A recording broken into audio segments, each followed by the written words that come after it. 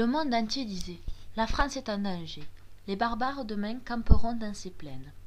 Alors cet homme que nous nommions l'étranger issu des monts latins ou des rives hellènes ou des bords d'outre-mer s'étant pris à songer au sort qui menaçait les libertés humaines.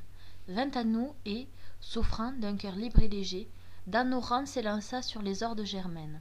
Quatre ans il a peiné saigné souffert.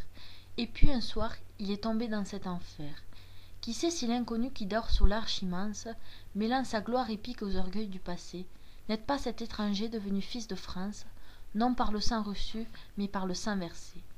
Pascal bonetti